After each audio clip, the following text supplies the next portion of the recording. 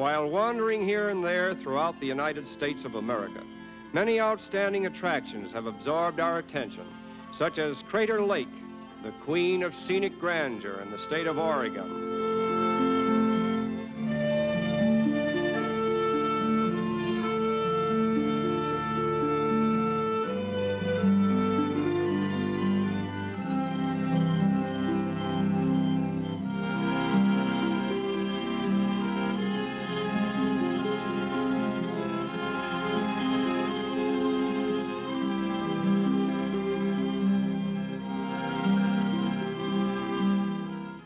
We behold what may have taken the untiring forces of nature millions of years to create.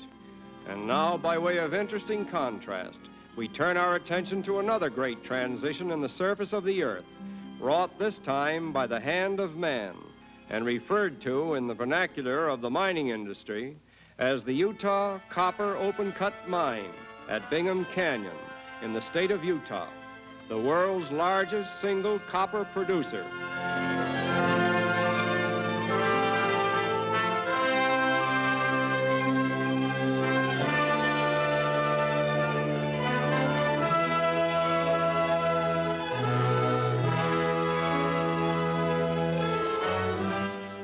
Mining of almost a billion tons of ore and overburden or waste material has carved this giant amphitheater with its stage-like terraces averaging 70 feet in height. Over 100 miles of standard gauge railroad track is used in servicing the mine. Many other superlative facts are associated with this colossal enterprise, but we are most impressed by the all-consuming fact that industry, successfully operated upon so vast a scale, cannot fail in supporting the great part that America is destined to play in the reconstruction of a world torn asunder by the ravages of war. And now our wandering takes us to Hannibal, Missouri, the hometown of Samuel Clemens, or Mark Twain, the famous American humorist and author who once served as a pilot on the Mississippi River and made famous through the power of his prolific pen many of the landmarks in this region, including the one so often referred to in his writings as the Lover's Leap. Perhaps the most famous of these landmarks is the boyhood home of Mark Twain, preserved as a museum or literary shrine in his honor.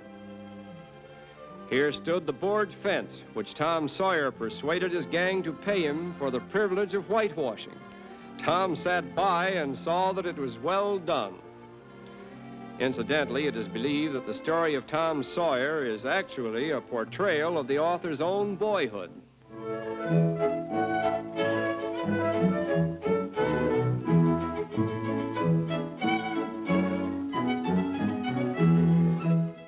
Perhaps no other fence in the world has had as many coats of whitewash, it being a popular pastime for local boys to reenact this scene time and time again for the amusement of visitors.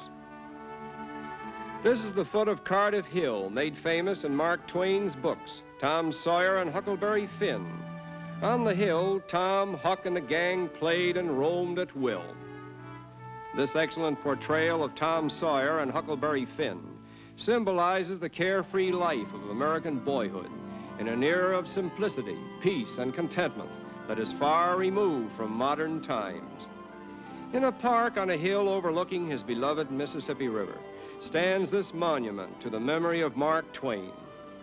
Born in the year of 1835, of parents in modest circumstances, he overcame the hardships of frugality, and through his famous books, he not only commanded the attention of a literary world, but also was honored with degrees from the foremost institutions of learning in his country as well as abroad.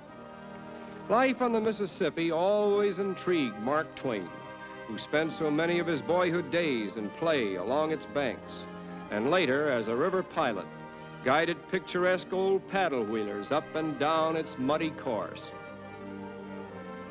And here we say farewell to the land of Mark Twain and wander on to the state of Washington, where we witness a rather amusing log rolling contest.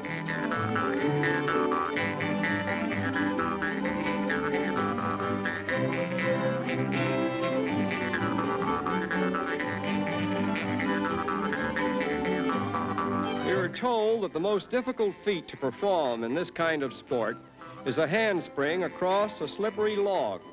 And here is one of the few girls in the world who is able to do it.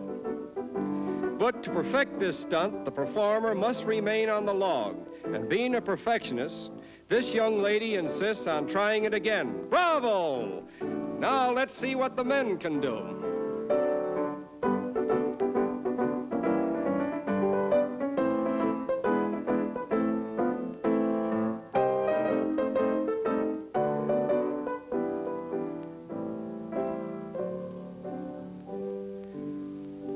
It's a long journey from Washington State to Washington, D.C. But thanks to motion picture magic, a split second covers the distance for us. And here we are on the banks of the Potomac, where we cross Memorial Bridge to visit the Arlington National Cemetery, the largest and most famous of American national burial grounds.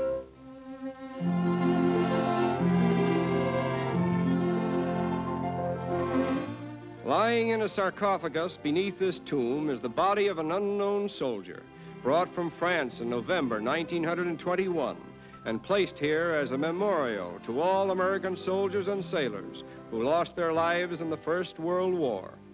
One of the oldest landmarks in the cemetery is Arlington House, once occupied by the famous Confederate General Robert E. Lee.